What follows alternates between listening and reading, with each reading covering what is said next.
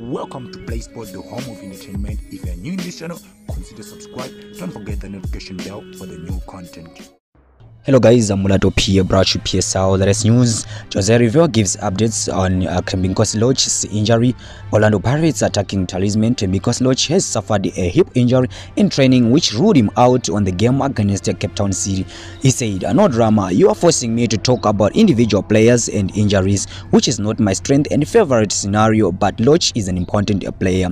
We're hoping to see him back as soon as possible and actually I think it's a minor thing, but it happened too close to the game so we didn't have imagine to solve it. So yeah we are happy with him. He's finding joy during the games and during the week at training we are all benefiting that is obvious Lorch has scored three goals in eight games since he's returning from his knee injury and he will be hoping uh, to be back uh, to full fitness for the Soweto derby next month. So guys uh, this is what Jose Riveiro said. He said uh, Lorch is an important player and also he wish uh, him to be back uh, before the game of Kaizer Chiefs versus Orlando Pirates on the Nedbank uh, semi finals let's hope so as we also heard that Keagan Dolly is also on injury.